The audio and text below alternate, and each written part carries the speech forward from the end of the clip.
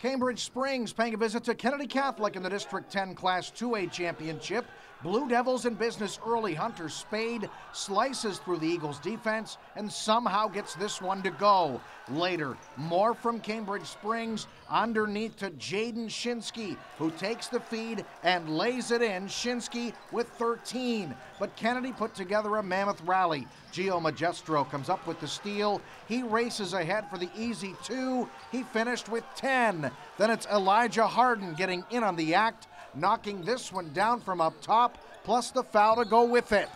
Also, a huge night for Dejan Young, who knocks down the step back triple for KC. Then Young not done yet. He takes the long pass down the floor for another easy two. He led all scorers with 22. Kennedy Catholic rolls 66 49, winning a sixth District 10 title in the last eight years.